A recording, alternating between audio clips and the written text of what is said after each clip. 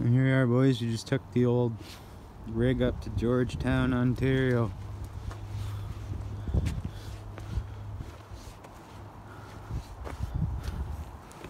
Look what we got for a hundred bucks with the freaking I know it didn't fall out while I was driving boys but we just put her there and I put her there we loaded her up put her there and she didn't move the whole way home. Fucking mint so from what I can see here boys it's a fucking NP 208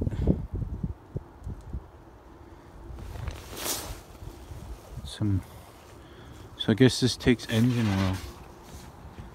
Because that unless that's a breather tube.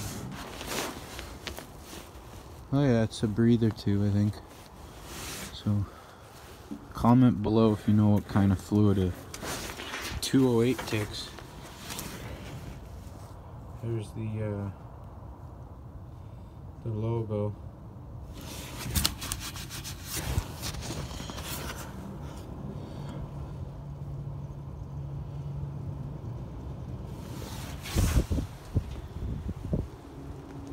You wanted a hundred bucks, I couldn't say no, man. Mint. Phone died earlier, so I had to turn on my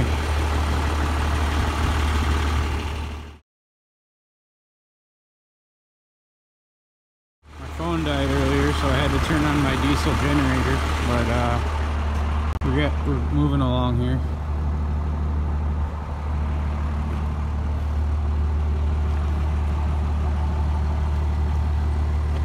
I guess uh, she's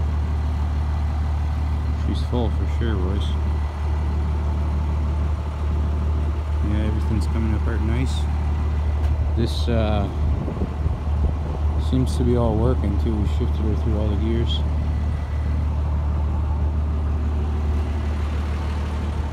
Transmission seems to be good too. Looks like uh,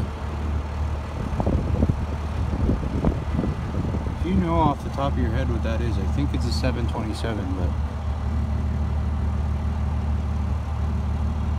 probably gonna take everything and get it power washed now that it's apart.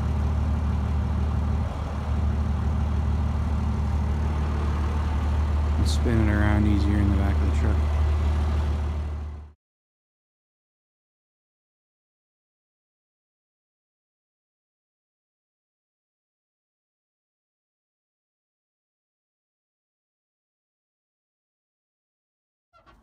So we replaced the uh,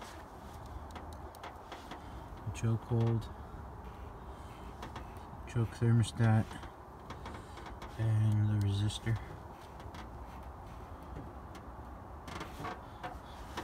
This is the tach wire. I'm gonna have to extend that, it's getting cold out, getting dark, so. That was the old one.